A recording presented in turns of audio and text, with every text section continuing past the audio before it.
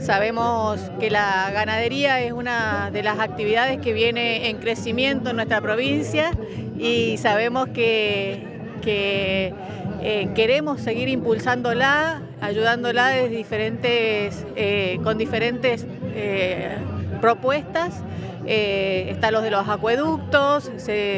y, y hay diferentes propuestas de parte de la Dirección de Ganadería en el acompañamiento de este sector en particular. Expectante a que tanto las cámaras empresariales como los intendentes eh, presenten sus proyectos, que sean proyectos que tengan un retorno a, la provincia, que no sea que, que, invertimos esos 20 mil millones de dólares y quedan en algún lado que después no lo volvemos a ver, sino que sea algo eh, cíclico, que se, que se siga pudiendo utilizar dentro de la provincia, eh, que sean, que tengan repago, que signifiquen desarrollo para el lugar. Entonces estamos esperando, expectantes, que tanto las cámaras como los intendentes nos muestren esos proyectos, que sean proyectos viables, que tengan viabilidad en el corto plazo, en el mediano plazo, que no sean eh, vendidas de humo. Tenemos dos o tres proyectos, uno es los caminos ganaderos,